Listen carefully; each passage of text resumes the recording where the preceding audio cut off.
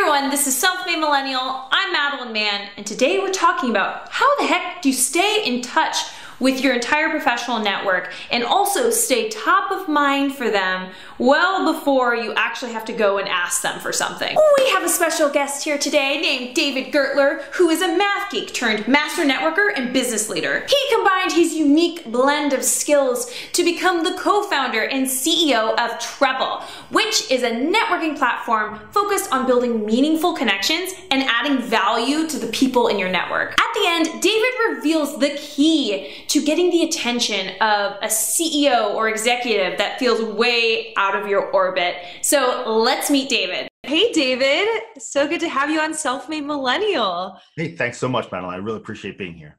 Yeah, so I'm so excited to talk to you because you've really built your career and company on networking, making connections, and building relationships. And I just really want to, you know, get back to kind of the genesis story of how did you even build these skills and grow your network over time? Yeah, sure. Um, so I was an introverted math geek, which a lot of people easily see, and some people can't believe.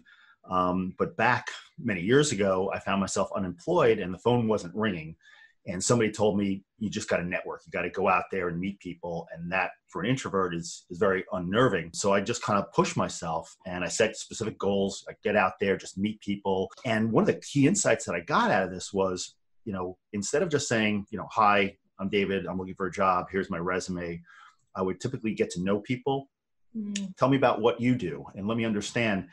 And then ironically uh, or paradoxically, I would often be in a position to be a matchmaker. So I'd meet somebody on a Tuesday morning and learn what they were all about. And then by Thursday afternoon, I would find somebody else and I'd say, oh, you guys should meet and make all these introductions and got to know hundreds and you know ultimately thousands of people over the years and by making these introductions it created such goodwill that my phone started ringing off the hook and i ended up landing some amazing jobs so that's kind of my genesis from math geek to super networker and so, with all of these people who you've built up in your network, what are maybe some best practices to stay engaged with all the people over time instead of being that person who just knocks on your door when you suddenly need something? Yeah, I'd say that the, the key to engagement, in my opinion, is to be an advocate. So I get to know people and I, I, usually ask them, hey, what do you need? How can I help you? What are you up to these days? And then I just kind of file it away in the back of my head. And as I go out and talk to a lot of different people, I often find these opportunities to make matches. And to me, that's one of the best ways to stay engaged. And by doing that, when I make those phone calls to them, they're really happy to hear from me and they're eager to help me in return. So it generates a lot of goodwill. You keep track of all these people. You you think about what they're what's important to them. Do you keep notes somewhere? Like how do you how do you make sure to stay organized and and keep this categorized in your brain? Yeah yeah. So um, i have a pretty good memory for certain things and early on i was able to track it all in my head but then you know after hundreds or thousands um, it became harder. So you know i created a software company called treble treble network. You're able to put the types of things that you're looking for and share them with your trusted network without spamming them. Uh, mm. We call it a wish engine. You know, how do I help you? How do I unlock that? And so we developed a system that does that and makes it easy to create real value and unlock value in your professional network.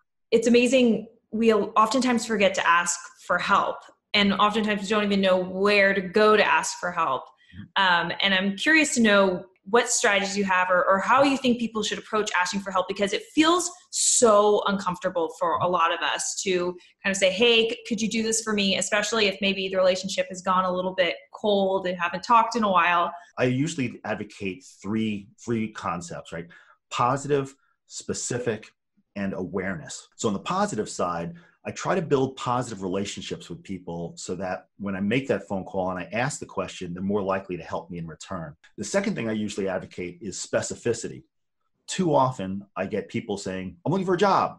And I say, okay, um, you know, in what? And I usually tell them, don't say everything you can possibly do. But I can point you confidently in the right direction if you say, I'm looking for accounting in a small company uh, in the DC area, right? So if there's a geography, an industry size, and a, a field, And even if it's not perfect, as long as I get you connected to the right person, they can help get you, you know, I usually refer to it as I get you one hop closer to the ideal job or the ideal person. And the third is awareness. Like, how do you break through? We're all so busy. And again, it comes back to that idea of if I help somebody and I, they know that I'm specifically trying to advocate for them and break through um, and help them with specific things, they're much more likely to ask me, Oh, what are you looking for? Uh, one thing that I have started to do is when I'm asking for an introduction through someone, I'll send them like a quick couple sentences that they can then just copy and paste of like, here's Madeline, she does this and this. Because I realize even though I, I might tell someone, hey, like, here's what I'm about, they might not know exactly how to kind of define who I am and, and, what I'm looking for. So has that, do you find like that that's helpful to kind of give anyone tools to help them help you? Exactly. Oh, absolutely. You know, it's funny.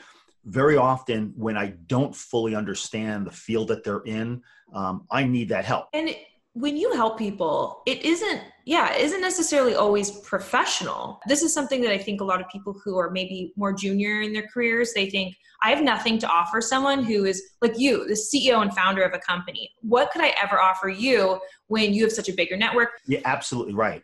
You know, it's it's often the case that I, when I speak to folks that are more junior in their career, they feel exactly what you're describing.